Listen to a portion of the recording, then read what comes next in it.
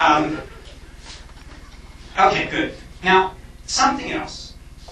Something else very important that happened at this time, precisely because string theorists were so interested in this issue of how do you get from a 10-dimensional theory, which is what it turns out superstrings have to be, down to a four-dimensional theory. Well, you have to take six dimensions and curl them up, and there are many ways to do that.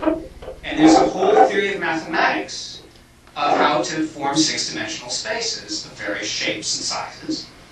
And so there began at this time a love affair between string theory and mathematics, because the mathematicians were very interested in these problems, and the physicists were interested, the string theorists were very interested in what the mathematicians had to say, and vice versa.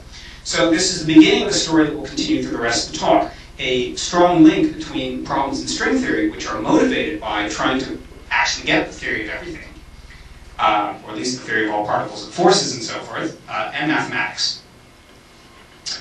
Okay, now that's where things stood around 1980 or so.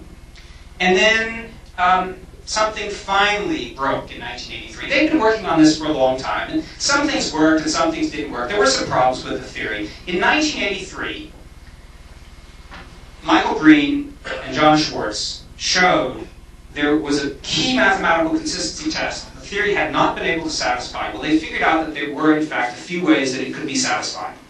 So mathematical consistency was shown for five particular types of string theory. Well, they didn't show all five, but that was quickly realized. So there were five string theories which passed a key test. And this got everyone really excited because I think a lot of people at that time really didn't think this program was going to work. But it worked in a very interesting way. And so people, the, the excitement was enormous. This was the moment the, of the birth uh, super duper string theory. Okay, this is this is the this is the this is the beginning of what becomes uh, what you know about today. Okay, super duper string theory. This is the theory that's supposed to shine your shoes and drive you to work and give you all particles of nature and so forth. And people really believed that they had gotten it. Okay, this is the theory. It works. Okay. Before that, it was just an idea. It was just one candidate theory, but now it was really working, and people believed that maybe within two or three years, since they now had it narrowed down just to five string theories, that they could find in one of them a compactification which would give all the particles we know about. And then they would go in there and they would calculate the masses of all those particles, and they'd come out right, and they'd be done. Okay, that was 1983. And I know a lot about this because Excitement Central was Princeton University. Um, uh, this was one of the places where a lot of that work was done, and I was an undergraduate there at the time. In fact, there were quite a few interesting people there. Uh, David Gross, who won a Nobel Prize in 2004 for work done on the theory of quarks and gluons, I mentioned him before, uh, he was a professor there, very excited about string theory. Edward Witten, uh, the world's uh, uh, most foremost string theorist, who, was a, who won a Fields Medal in 1990 for mathematical work, was there. Uh, Lawrence Yaffe, uh, Larry Yaffe, he's a professor at the UW. Uh, he was not working on string theory. Um, but he was there, him in. There was some other interesting people there too, either just before or just, uh, just around this time. For example, uh, there was a fellow there named uh, Stephen Wolfram. Um, he was a he was a physics physics graduate student and postdoc, and he went off to found Mathematica. And then there was Nathan Myhrvold, uh, who is very well known at Microsoft, now runs Intellectual Ventures. He was a PhD there in 1983, in 83, and then he went off to work with Stephen Hawking for a couple of years before deciding that uh, he wanted to do computer work rather than quantum gravity a la Hawking. And then also, there was another fellow there named Peter Woit, um, who's now a lecturer in mathematics somewhere. He got a, he got a PhD in 1985, um, and uh, he wasn't working on, none of these people were working on string theory. There were also quite a few famous future string theorists there. I haven't put their names up because you're probably not familiar with them. And then I was there, I was, I was there, I was class of 1987, and I was watching all of this going on, and going to David Gross's talks, his uh, colloquium about the theory of everything, and uh, it was all very exciting and uh, a little, little hard to believe. And, and this, these were very heady days. So let me give you an example. 1990, in the 1990s, probably 1990 or 1991, I was, I was wandering around Harvard, and on a bulletin board there was a piece of paper with some quotes from famous string theorists, at least I think they were all string theorists if my memory is correct, that they had made around 1980, well probably 1985 rather than 1987 as I've written here. So here's one from Witten. More physics has been done in the last few years than has been done in a century. I think this is about right. I couldn't find the quote. I'm sure he doesn't like to remember this one. But um, somebody had written a little bit of graffiti. Which century? The 12th?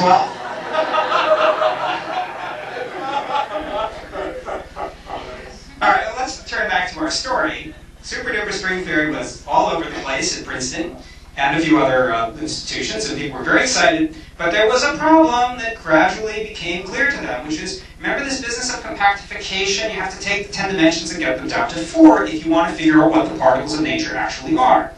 And it's not like there are five of those. There are, uh, well, first they do about a few hundred, and then they do about a few million, and then they do about a few trillion. The mathematicians kept thinking of more, and the physicists kept thinking of more, and, and there was no principle to choose, no calculational technique available to try to explain to you how nature would select one over the other. And the super-duper string theorists were pretty confident that nature was going to pick the most beautiful of these, whatever that meant, um, and that it was going to do so through some simple mechanism that they would eventually understand. But they didn't know what it was, and they were stuck. Well, that's where we were in 1987 or 1988 when I went off to be a graduate student, and this was what one might term the string theory doldrums. It lasted a few years. Pretty much my, my entire graduate uh, career, I was learning, uh, I was at Stanford, I was learning particle physics, quantum field theory, and string theory, and my PhD is about applications of string theory techniques for quantum field theory calculation. So I, you know, I was involved in, in a small way. But they really weren't, uh, they really didn't make a lot of progress until a little bit later, um, when I went off to be a postdoc at Rutgers University in 1993. And right about that time, at Rutgers and at Princeton, began what might, one might term the great advance. Sometimes this is called the third string revolution. I don't know whether it deserves such a term, but I will call it the great advance. It really was a significant moment. And it actually began in quantum field theory with the discovery of something called uh, sometimes just duality, but I prefer to call it quantum equivalence. And here's what this is. You take two quantum field theories with different types of particles in them. Obviously they're different. Nope. Sometimes, for the magic of quantum mechanics, things that look entirely different, if you look at them naively, turn out to be the same. Now that can really be a remarkable uh, shaking of your view of the world if you think that the particles in one theory could somehow not characterize the theory entirely. That you could take a different theory with different particles and yet it could be the same as the one you started with in some very non-trivial way. Well, okay, this was uh, an idea which really goes back to the 70s and had been thought about a bit before, but in 1994 it really came to roost. And, and um, I started working on that um, following uh, Seiberg and Witten, who were the two people who really pushed this forward.